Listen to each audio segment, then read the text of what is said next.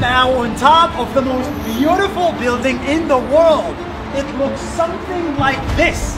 It took six years to build and millions of dollars. And no one knows what's hiding inside until today. So, what is this? What is written all over it? And why is there a space station and a rainforest inside? Trust me, this is a video you don't want to miss.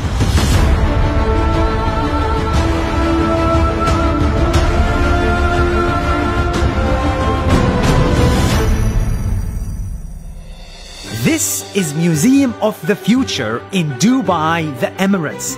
This building is unique because it looks like a human eye, an eye looking at the future. And because it's round, there is not a single corner in this building and no columns. Seven floors, zero corners, zero columns. This is an engineering marvel! The outside is made of 1024 panels exactly, representing the 1024 bytes in one kilobyte. And each panel is covered with Arabic quotes. It's the only building in the world covered with a language, and it's beautiful. But what is hiding inside of it? Well, let me show you. This is a living museum, which means everything inside of it is from the present and the future, not the past. Even the elevator is designed like a spaceship. It goes all the way up. You feel like you're in space, about to connect to the International Space Station. On the fifth floor, there's an actual NASA-approved design of a space station. It's an interactive walk through space that shows you our solar system, our International Space Station, and what it means to become a multi-planetary species. I don't think I'll ever make it to space, but this is as close as it gets to feeling like you're actually in space. On the fourth floor, there is an actual buildup of a rainforest. With over 2,400 species to remind us that in the future we have to take care of nature and live with it. These are like 2,400 species. Some of them survived and some of them did not survive.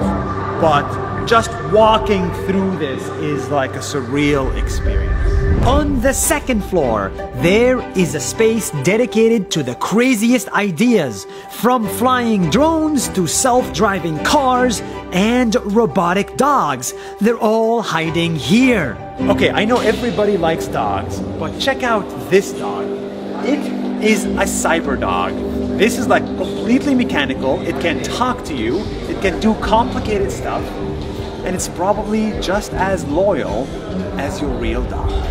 And on the bottom floor, there is a full science park for future generations, kids, to help them appreciate physics, science, and math.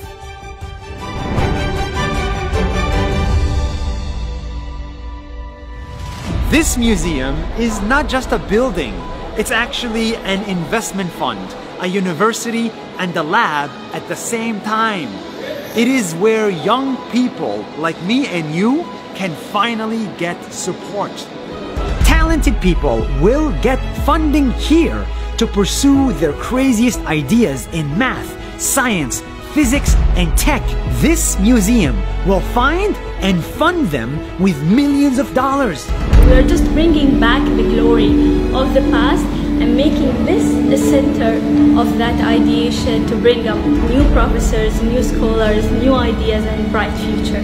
See, the future is not about buildings. The future is about science, technology, climate, nature. It is about supporting humans with great ideas. It is about taking care of our planet. And most importantly, it's about leaving a better world for our kids.